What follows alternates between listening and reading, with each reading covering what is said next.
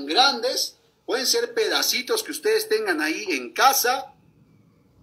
Necesitan también tijeras de punta redonda, mucho cuidado. Si están pequeñitos, pequeñitas, pídanle ayuda a mamá o papá. Necesitan tijeras de punta redonda. Necesitan un pegamento, un pegamento blanco o un pegamento de barra como este. Miren, este pegamento es de color morado. Ahí está mi pegamento de color morado.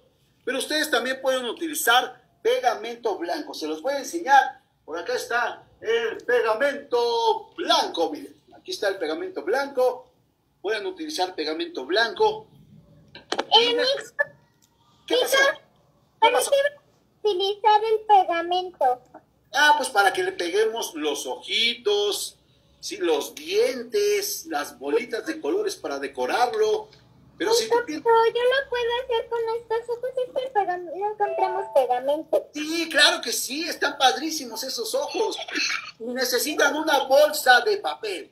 Una bolsa de papel, miren, puede ser, puede ser así, chiquita, puede ser más grande. Así que busquen una bolsa de papel.